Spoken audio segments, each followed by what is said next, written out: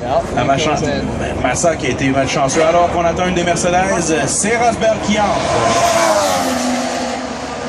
Au 18e tour, au 19e tour en fait, Nico Rosberg, les deux pilotes Mercedes, s'arrêter.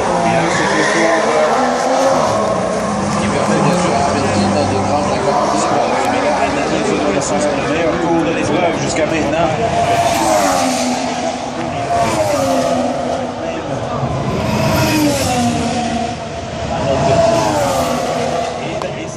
Bye.